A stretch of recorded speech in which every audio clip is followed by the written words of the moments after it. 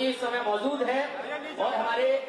आदरणीय विद्वान आचार्य जी, जो कि विधि विधान से इस पूजा अर्चना महिमानः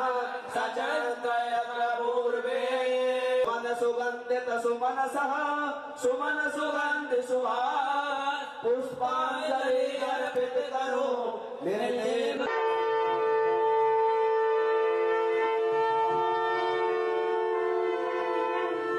आप सभी लोगों के सामने एक ऐसी पुष्पों की माला है। तो देखेंगे, फ़ोटो में कवरेज करेंगे। देखिए, मैंने पहले ही कहा था, होता वही है, जो राम रच राखा कितना भी कह दीजिए, कोई बात नहीं। क्योंकि मैंने पहले ही कहा कि हमारी माता बहने बैठी है तो सभी लोगों को दिखाई और बड़ी खुशी की बात है कि इस समय हमारे आज की आन वाल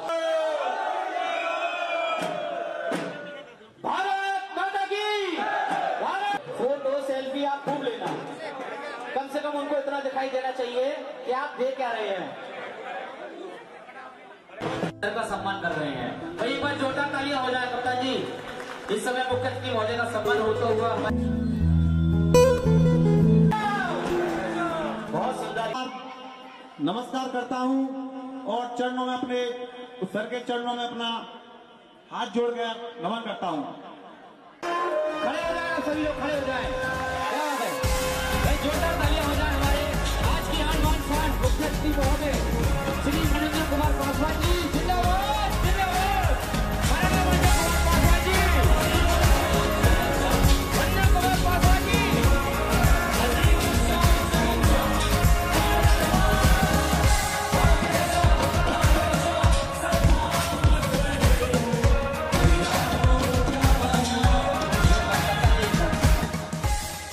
बहुत बहुत धन्यवाद आपका। गौरव कुमार जी, संजीव कुमार शर्मा जी, प्रयागराज डिवीज़न से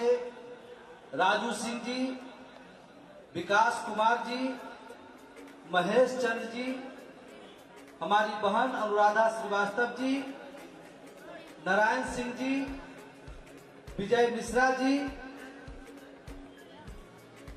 प्रेम पाल सिंह जी दुष्यंत कुमार शर्मा जी ललित कुमार जी रिंकू कुमार जी राजेश कुमार जी सत्येंद्र कुमार जी विजय कुमार मुनेश कुमार जी देवेंद्र सिंह जी अवध किशोर दास जी अमित कुमार जी पारस सिंह जी ओम प्रकाश जी हमारे बूटा सिंह जी, मुनेश गुप्ता जी, विनोद कुमार जी, मान सिंह जी, संजीव कुमार जी,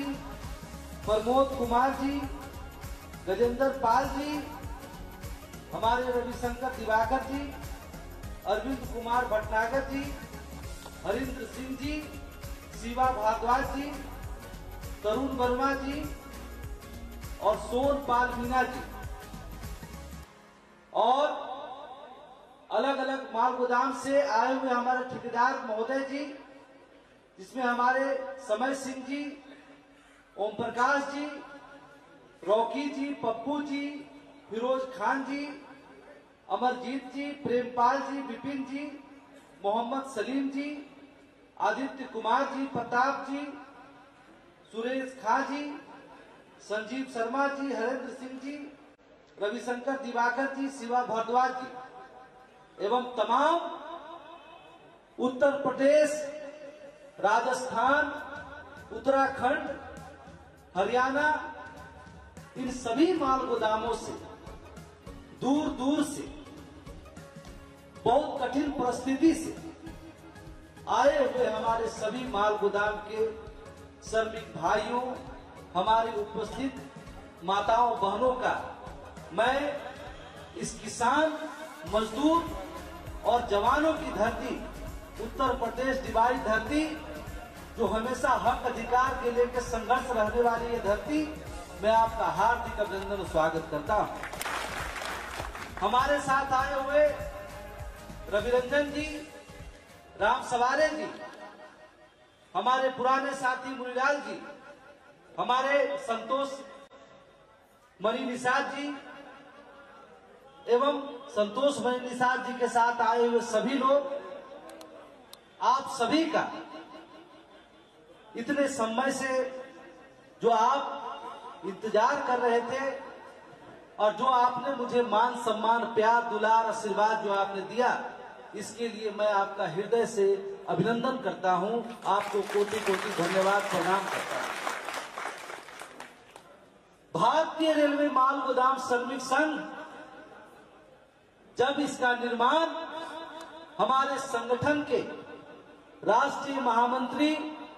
और इस देश के 10 लाख मजदूरों के पिता समान अरुण कुमार पासवान जी ने जब इसका निर्माण किए थे, उनका एक ही सपना था कि जिस घर में बरसों से दिया नहीं जला है, जिस घर में अंधेरा है, उस घर में रोशनी की दिया जलाना है, उसके घर वाले, उनके बच्चों को, उनके जीव वो मजदूर इस देश का सबसे बड़ा उद्योग, सबसे बड़ा इस देश का रेलवे लाइफ लाइन जिसको रेलवे कहा जाता है,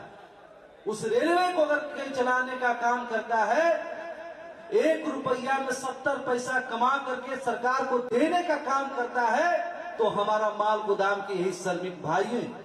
जो अपने खून पसीना की ताकत से जब रेलवे की शुरुआत हुई, सैतीस किलोमीटर मालगाड़ी को चलाने की व्यवस्था ब्रिटिश शासनकाल में किया गया। वो सैतीस किलोमीटर से आज लाखों किलोमीटर में जो रेलवे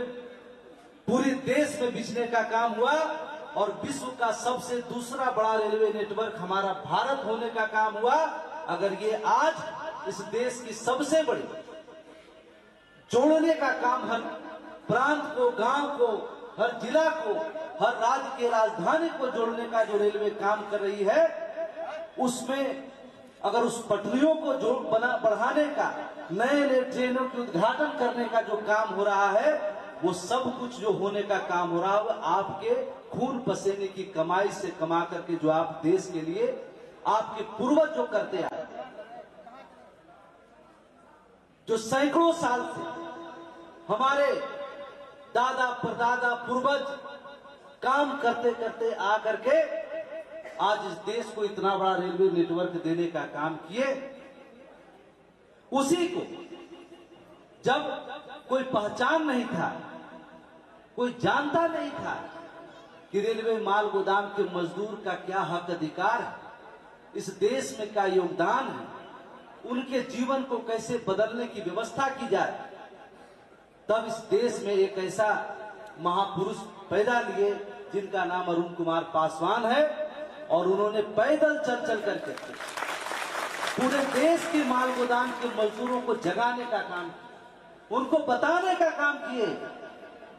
कि जब तुम माल गोदाम में काम करते हो, और माल गोदाम में कोई व्यवस्था नहीं होने के कारण जब तुम रेलवे स्टेशन पर पानी पीने जाते हो और वहाँ तुमको टीटी आरपीएफ पकड़ लेता है और तुमसे पूछा जाता है कि तुम कौन? हो तुम बता नहीं पाते हो कि तुम भी इस रेल के माल गोदाम का एक श्रमिक हो, एक कर्मचारी हो। वो पहचान इस देश में हर आदमी अपने पहचान के लिए जीता है। कि हमारी पहचान क्या है? मेरा नाम क्या है? मैं किस जगह का रहने वाला हूँ? हमारा अधिकार क्या है? हम किस देश में रहते हैं? हमारा कहाँ का नागरिकता है? उसी तरह से जब कोई श्रमिक, जब कोई कर्मचारी जिस विभाग में काम करता है, उस समय हमारे राष्ट्रीय महामंत्री जी कहते थे कि जिस जगह पर, जिस ज़मीन पर रेलवे चलती है, जहाँ मालगाड़ी चलने का काम होती है, वो ज़मीन